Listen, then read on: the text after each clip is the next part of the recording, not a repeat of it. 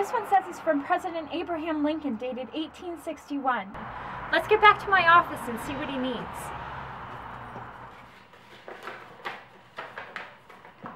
To the Sheffield History Sleuth, September 22nd, 1861. My dear lady, I am writing to you on behalf of a friend of mine, Major John G. Barnard. He was born in and grew up in Sheffield, Massachusetts, but he has since become one of my most trusted and valuable soldiers. He proved himself most capable during the Mexican and American War as one of my chief engineers. Then he went on to work with me once again in the Civil War and helped defend our capital. John Barnard seems to me like an apt leader, and I would like nothing more than to promote him to Brigadier General.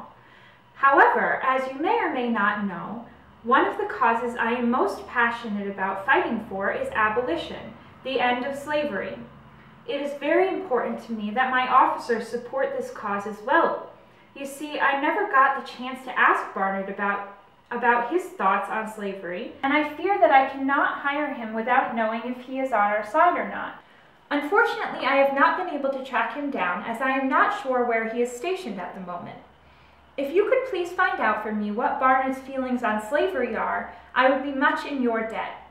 Yours truly, A. Lincoln. Well, we can't exactly say no to Abraham Lincoln now, can we? Let's see what we can find out. I think we should start at Barnard Park. There might be something there that could help us. Hmm. It says Barnard Park, given to Sheffield in 1937 for a public park by John Hall Barnard in memory of J.G. Barnard. Well, it looks like Mr. Barnard was an important part of Sheffield, but this doesn't quite answer our question. Let's head over to Center Cemetery where Mr. Barnard is buried and see if we can find anything there.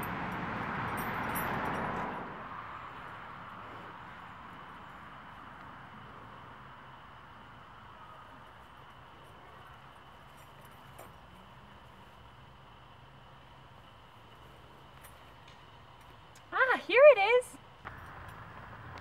J.G. Barnard, in peace. Well, that doesn't exactly answer our question either, does it? But I feel like we're getting close. If only there were a way that we could talk to Mr. Barnard in person. What's this? Spirit Walk. Step into the past and meet some of the former citizens of the town of Sheffield. Hear their stories and ask them questions about their lives. This is perfect. Mr. Barnard is buried in this cemetery, so I'll bet you anything he'll be there. The poster says that it's happening on Saturday, October 26th from 2 to 4 p.m. Mr. Barnard should be right here next to his gravestone. This way we can ask him President Lincoln's question directly. Well, that's that. Once you've found out how Mr. Barnard feels about slavery, be sure to write to President Lincoln to tell him what you found out. I'll make sure he gets your letter. Happy sleuthing, and I'll see you at the Spirit Walk.